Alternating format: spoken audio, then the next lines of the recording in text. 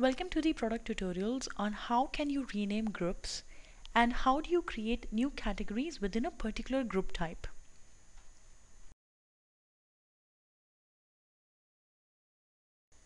I'm now logged in into the Replicon instance.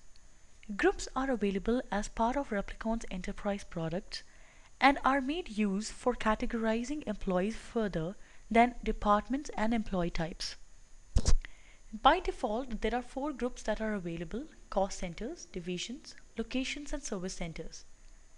In order to rename any one of these groups, click on the group name. You would see settings option very specific to that particular group available on the top right hand corner. Click on that settings.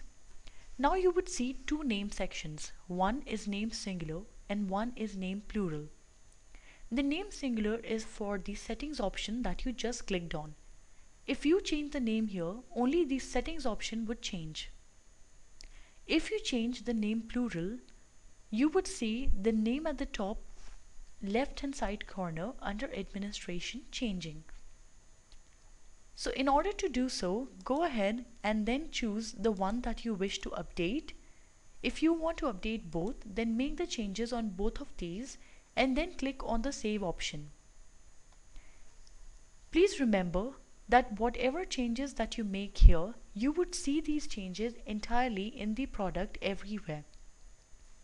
So once you've made the changes, for example, I would go here and write custom and then click on the save button. You would see that the page gets refreshed and the name is changed to cost centers custom. However, the setting option still remains the same. In a similar manner, you can make changes to any of these groups.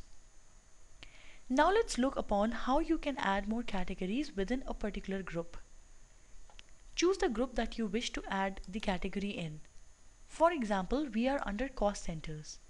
In order to change that, click on the add cost center, provide a name, put in a code if you would like to, and set a status. You can also add a description and then click on the add button. This would show up right here. If you want to create sub cost centers under this, then you can go ahead and click on the add option available here and then go ahead and, and enter the other details and click on the add button. This would be added as a sub cost center to the head cost center. This is how you can rename a particular group and add further categories to each group.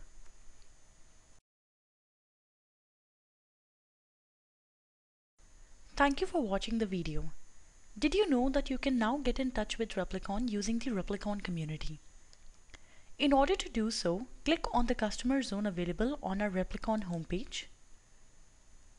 On customer zone, you would find community available on the top click on community and you would be taken to our Replicon community page.